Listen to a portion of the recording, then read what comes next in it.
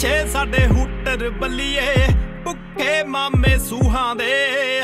ਪਾਣੀ ਨਾਲ ਭਰਤੇ ਮੂੰਹ ਨੇ ਅਸਲੇ ਨਾਲ ਖੂਹਾਂ ਦੇ। ਦੇਖੀ ਗੱਲ ਹਿੱਟ ਹੋਣੀ ਆ, ਮੌਤ ਮੂਰੇ ਮੁੱਛ ਨੂੰ ਵੱਟਦੀ। ਜਦ ਜੱਟ ਨੇ ਮਰਨਾ ਬੱਲੀਏ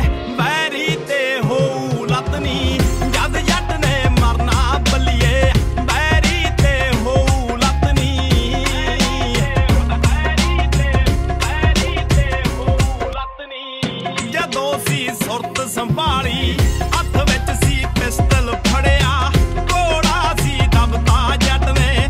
ਠਾ ਕਰਕੇ ਵੈਰੀ ਮਰਿਆ। ਕੋੜਾ ਸੀ ਦਬਤਾ ਜੱਟ ਨੇ। ਠਾ ਕਰਕੇ ਵੈਰੀ ਮਰਿਆ।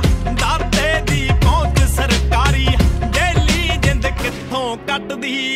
ਜਦ ਜੱਟ ਨੇ ਮਰਨਾ ਬਲੀਏ।